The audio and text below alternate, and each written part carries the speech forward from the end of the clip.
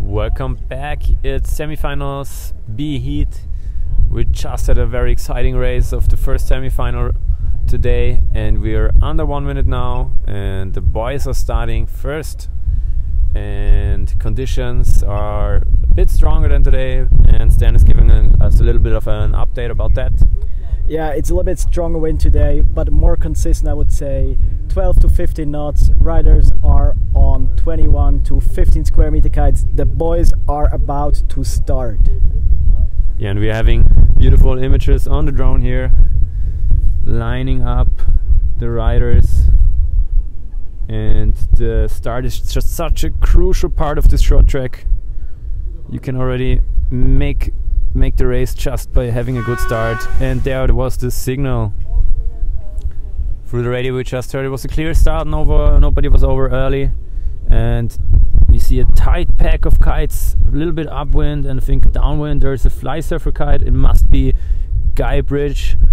From when I was racing, I remembered that was something he liked to do, starting a bit more leeward and just going full speed and we can see him it's where we can see it's working out for him. And he is the first one to tack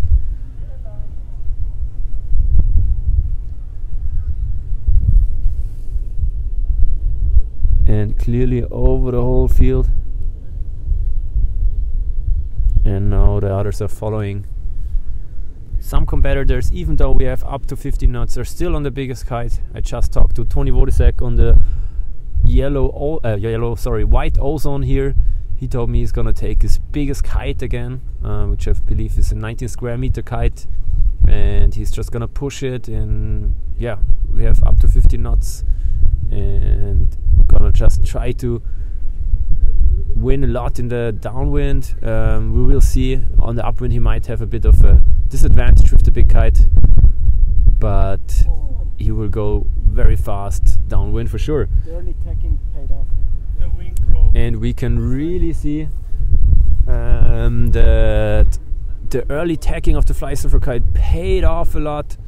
I'm still thinking it must be Guy or Janis. We will see when they come closer.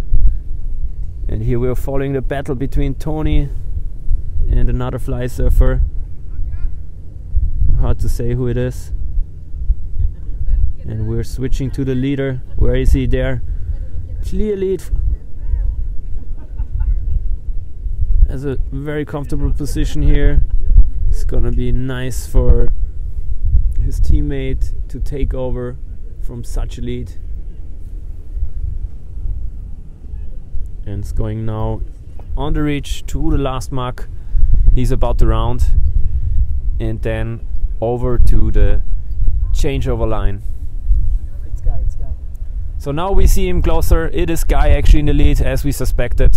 Followed now by Tony on the white ozone, who's uh, rounding the mark there. And I think in third place it must be Janis. And they're coming now full speed heading over Guy Bridge is gonna head it over to Katie Dabson on the blue ozone. We see her going through here a little bit late, but on the safe side. And then we have there the white ozone to the white ozone, Team Vodisek, and Janis heading over to Alina. Actually saw that Tony just crashed in a similar position as Theo right after the finish. It's just uh, they give full speed on the very last meters. Okay, we see now in the lead is Katie on the blue ozone, followed by two wide ozone kite. It's really easy to spot Marina Vodisek because she's riding the red orange board on the second place, third place Alina from Germany.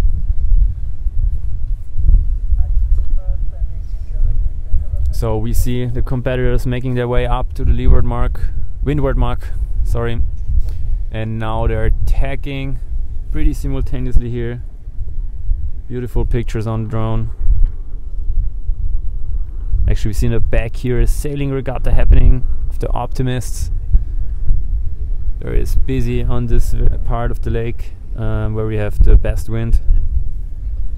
We're didn't see it on the drone, but on the fourth place was Magda taking a little bit earlier to take the risk, and she's hoping that this pays off. We will see it soon if this paid off. Yeah, thanks for the updates, Dan, who is having a look on the lake. We're watching here a bit more on the drone, so we can give you an update of the whole uh, race course, what is happening out there. And Katie is tagging there. She is clearly leading this this round, this race, and she's on the ley line, going around the windward mark, comfortable lead. And who is going to be second place? There we see a white ozone. Can't say if it is Marina. Must be Marina with her board, yes.